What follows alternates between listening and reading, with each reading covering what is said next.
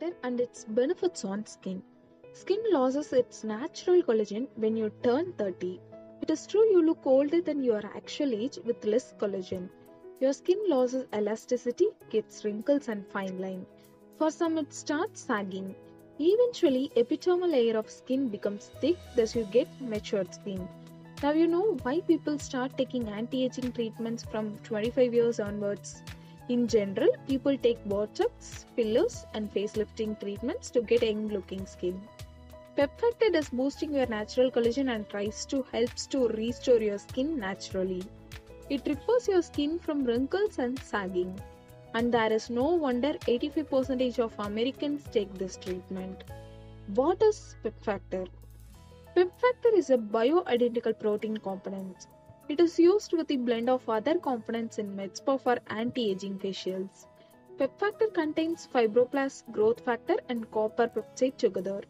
This is something man-made and tested effective to kickstart natural collagen production in skin and scalp.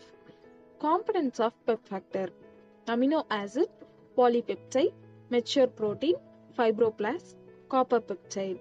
Pep Factor on skin treatment. Pep Factor as a bioidentical formula helps with collagen production. Pep Factor restores elastin and collagen quickly. It is one natural way as scientists and dermatologists approve of this product. Pep Factor procedure. Pep Factor is applied before microblading for scalp.